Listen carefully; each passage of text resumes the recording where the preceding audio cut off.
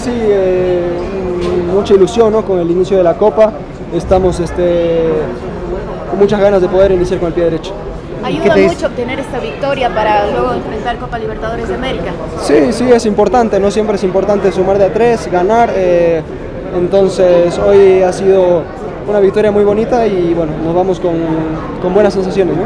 ¿Qué te dice Pedro este palestino? ¿Lo has estudiado? ¿Qué, qué has conocido de él? Ahora, ahora vamos a empezar a, a, ver, vamos partido a partido, estábamos centrados en lo que era Oriente y ahora vamos a, vamos a centrarnos en lo que va a ser Palestino, que estoy seguro que va a ser un rival muy duro.